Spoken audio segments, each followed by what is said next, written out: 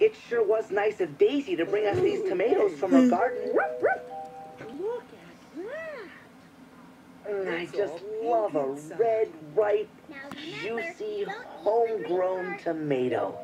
Look at that. It's all pink inside. Remember, don't eat the green part.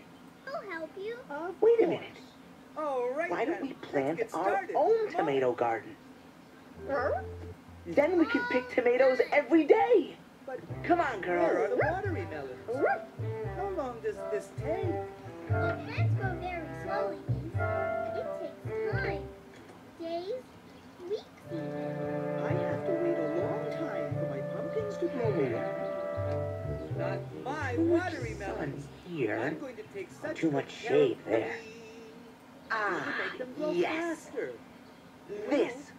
This would I be a great place to plant a garden. Just enough shade, never thought of that. just enough sun. Come on, plants need the Let's go buy a tomato plant.